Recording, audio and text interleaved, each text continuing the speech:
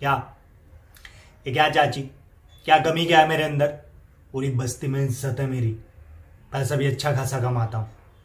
ऐसे आँखें फाड़ के क्या देख रही है? तेरे पति से भी ज़्यादा पैसा कमाता हूँ मैं। मेरे पास अपना खुद का ऑटो है, बड़े साहब की गाड़ी चलाता हूँ। और क्या हुआ अगर दो बीवी छोड़ कर चली गई? मेरे पास अपना खुद का खोली है। उसमें पूरा सामान रखा हूँ चाची।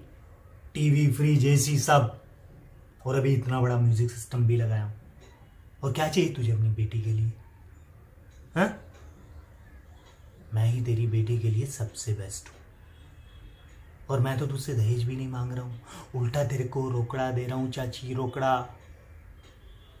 देख, दिमाग में ज़्यादा हवा नहीं भरने का।